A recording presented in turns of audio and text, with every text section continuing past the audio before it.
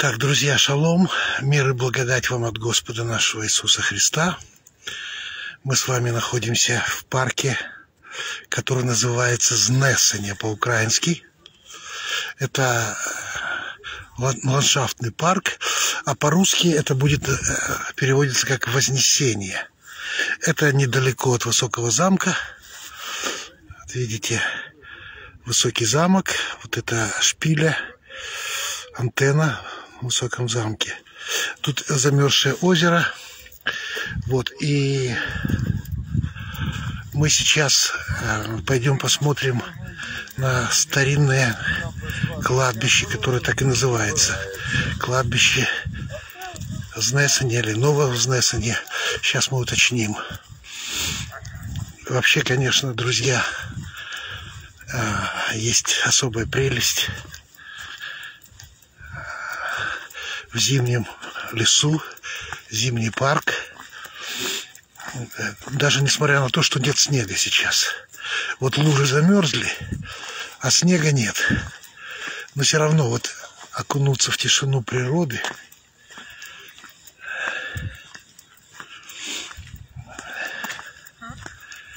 и насладиться вот этим этим простором. Э, этот парк находится, в общем-то, рядом с центром Львова, недалеко от центра Львова. Но, тем не менее, здесь именно ощущение того, что ты находишься в лесу. Вот мы сейчас увидим с этого холма город Львов.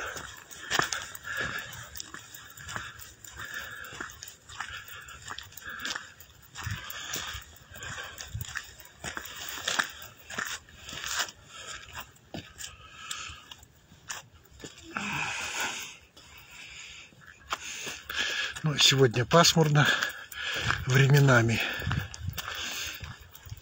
Проглядывает солнышко, слава богу, что нет дождя, потому что последние дни была довольно мерзкая погода. Такой дождичек, который разводил слякоть. Вчера, правда, был чудесный день. Вот перед нами открывается панорама Львова.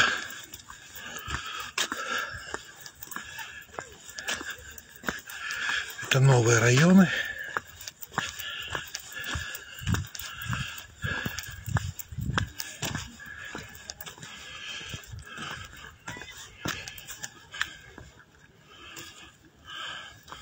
Сейчас я вам увеличу.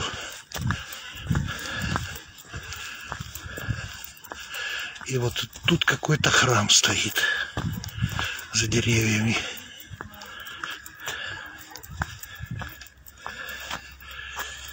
Так, давайте посмотрим на Львов со стороны парка Знесения, парка Вознесения. Я максимально увеличил.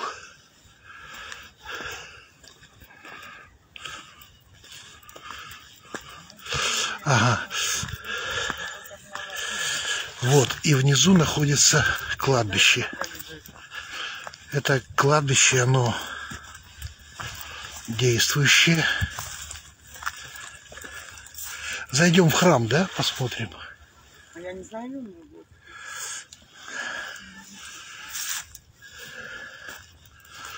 Видите, недалеко фактически от центра города находится кладбище.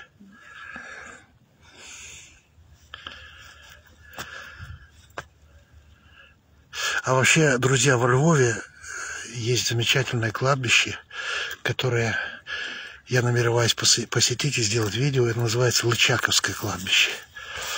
Это кладбище, музей. Там похоронены много видных деятелей. Да. Но э, особенностью этого кладбища, это много польских могил, э, является именно надгробие. Совершенно шикарное надгробие. Но это не сегодня уже, это как-то в один из дней если Бог даст нам. Это э, кладбище Лычаковское называется. Кладбище как музей архитектуры.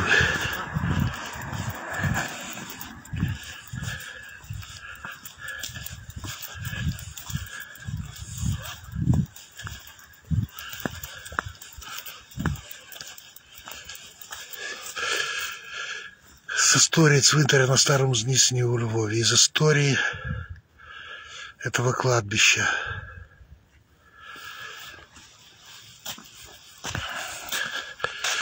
Цвинтар старого знесения. Памятка истории культуры 19 столетия. Природный, природно-заповедный фонд Украины, региональный ландшафтный парк Знесения. Ага, вот похование на цвинтаре категорично заборонено. То есть, э, фактически, это уже закрытое кладбище.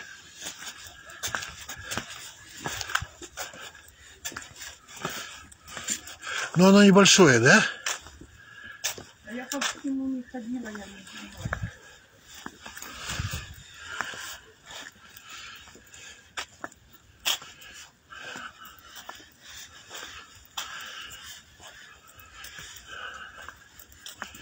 Може, у той дівчонки, знаєш, може бути тут похоронені, тут захоронювали. Вот такой интересный вид. Давно умерла, від на этот храм. Категорично забороняє. Ну, мы дальше не пойдем, да, туда? Вера, назад. Вера. А что по кладбищу? Да. А?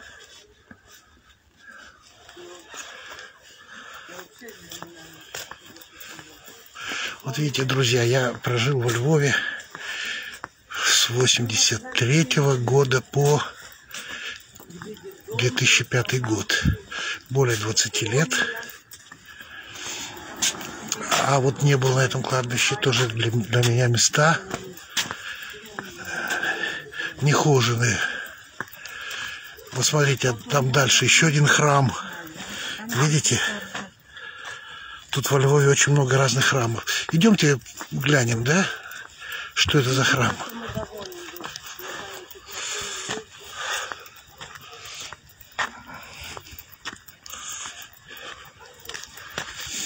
Много таких интересных мест, где так и не побывал. Я и не знаю их фактически.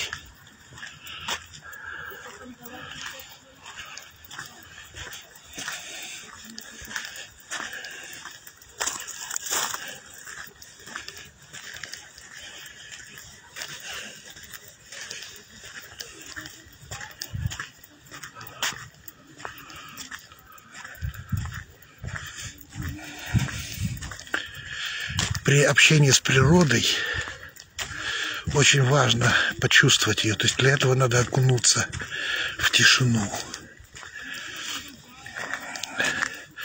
Это вот есть такой вид молитвенной практики. Его можно назвать медитацией или созерцанием.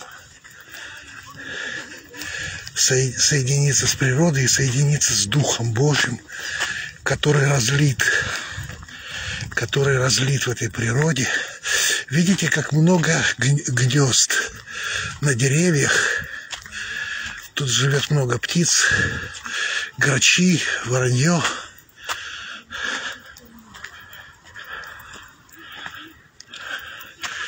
И вот интересно, на отшибе вот такая церковь.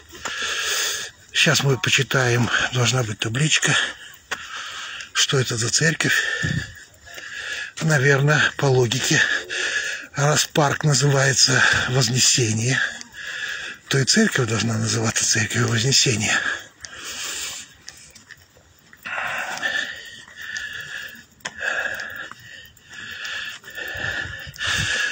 Окунуться в тишину, окунуться в тишину природы, погрузиться в нее, креститься в природу, если можно так сказать.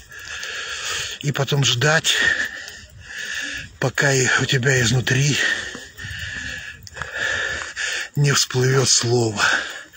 Вот это слово от Бога.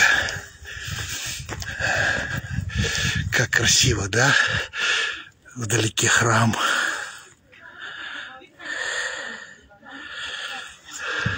Тоже я не знаю, что этот храм. Как называется этот храм.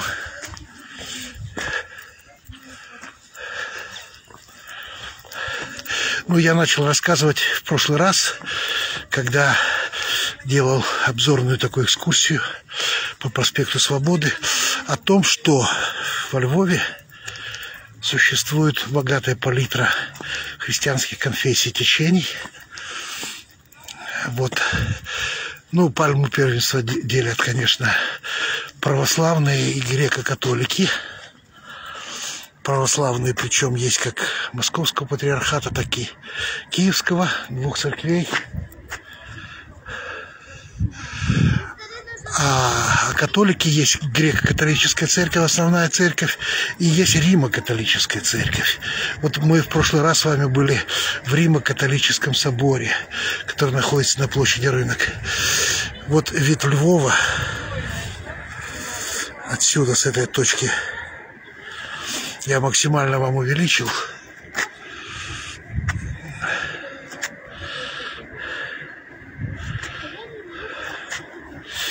Вот смотрите, вот эта церковь еще, наверное, не действующая, да? Потому что нет входов, она недостроенная фактически.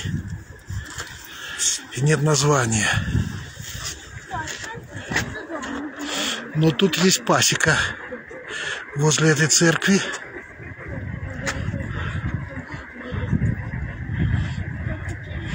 А давайте выйдем на эту дорогу, а? Не, не давайте, а назад. А мы куда-нибудь выйдем. Куда-нибудь, Саша, только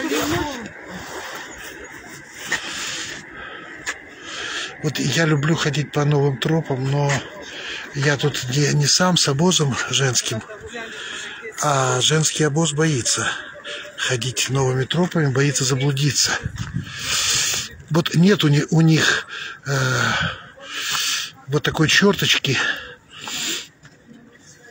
Моисеева, Моисеевого помазания. Ну, либо Моисеева, либо а, кого-нибудь еще, который завел поляка в болото. Как того товарища звали, вот я не помню.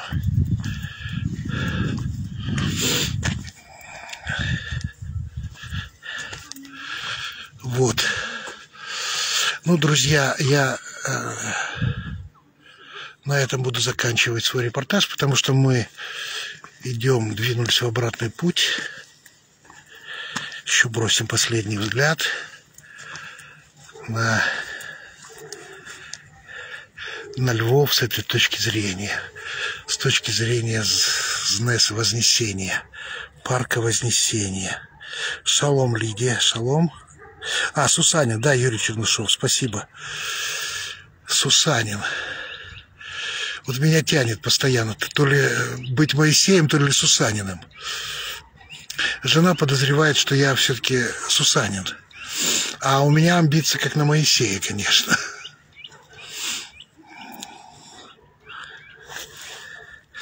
Нет, вид, вид очень шикарный, мне нравится. Не знаю, как вам.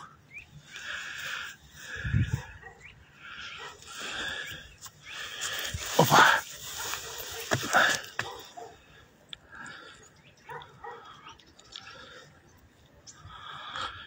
Благодать. Зимний лес, хотя и снега нет. Ну, друзья, пока прощаюсь. До новых встреч. До следующих встреч в эфире. Благословений вам.